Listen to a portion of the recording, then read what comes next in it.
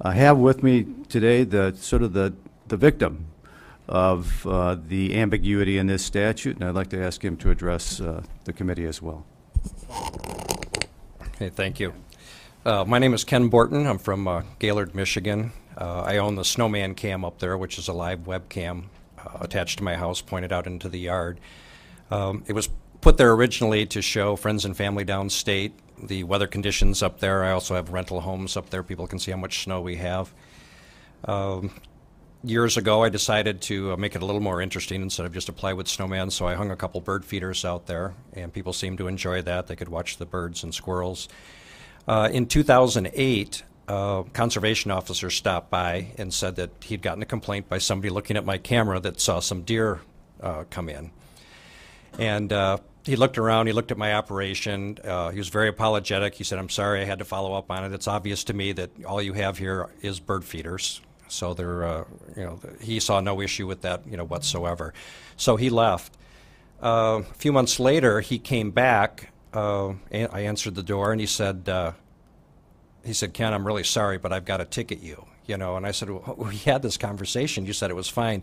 He says, "I." I I know. He says, I'm sorry. The decision's not mine. It was made for me. This comes out of Lansing. They're tired of the complaints, and I have to ticket you.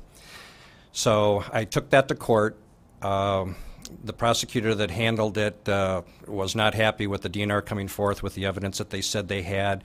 One thing led to another, and uh, the judge wound up throwing it out. And and as part of that, she also told the DNR that she did not want them coming back to my property without an appointment. She felt that, you know, that it was very improper what was going on.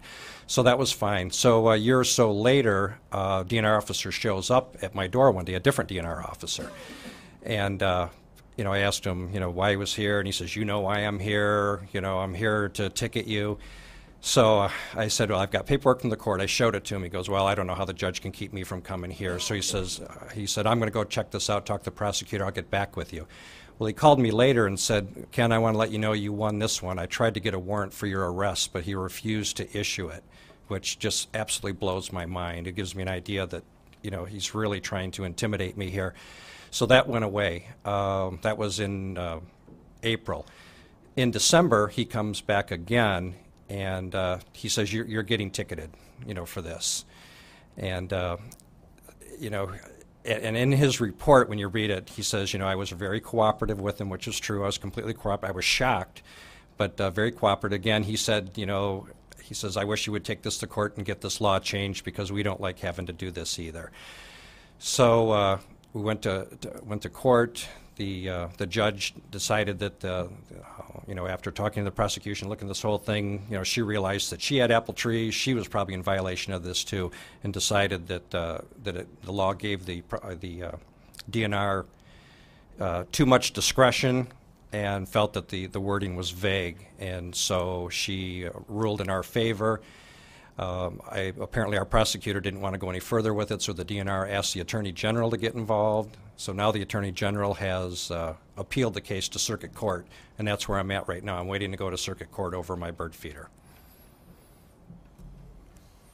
Uh, Thank you very much for, uh, Representative, for coming in today. Um, um, I appreciate uh, your diligence in trying to correct this problem. You and I have talked about it uh, a number of times. Uh, Looking for questions? Do we have any questions? I would uh, just like to add that uh, uh, at one of the colleges, Representative Lindberg uh, has a question we'll get to him in a second. At one of the colleges that I went to speak during my election the last time, had a candidate forum. One of the question was, do you support the baiting ban or not? And uh, I said, if you look to the right, which is about 10 feet away, there was an open window, and there were deer munching on some turkey food that they had thrown out. I said, You're in violation right there of the law.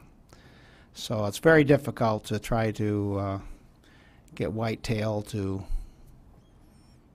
leave food alo- al- alone, no matter where it's who's what you're feeding. And they were obviously feeding turkeys. There were turkeys out there, and that's what they were feeding, and the deer were coming in. somebody must have went out and chased them away because they ended up missing right after that. Um, Representative Lindberg.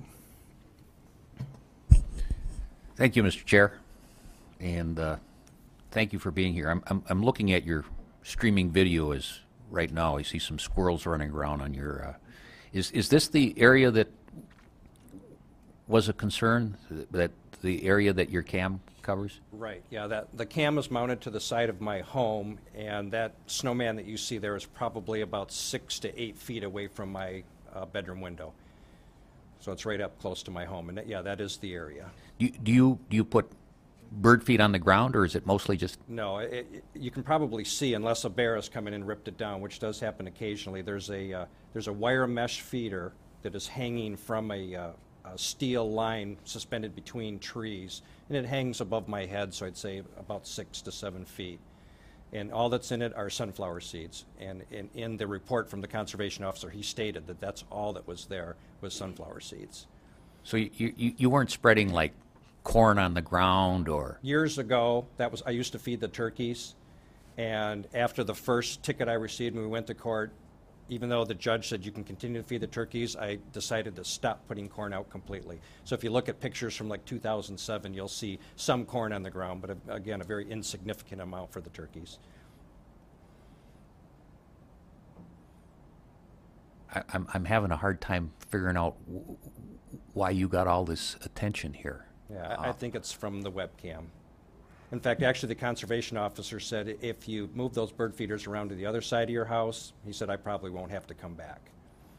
So in my mind, I'm thinking it's okay to violate the law on the other side of the house, but not on this side where the camera is. Or don't document that you're violating. the law. Exactly. But it- I've always been wide open. Everything's there. Everybody, you can look at that camera 24 hours a day, seven days a week.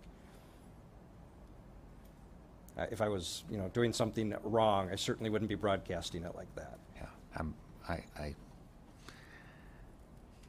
thank you, Representative Meadows, for uh, bringing this forward. Uh, I was wondering when you first sponsored this bill, I, I, I forgot that you had a cabin up on the, on the river, and I'm thinking, you know, Lansing doesn't usually have this, but maybe they do. But uh, very interesting. Thank you. Thank you. Thank you very much, and seeing no further um, questions, I appreciate you coming down to Lansing today to testify.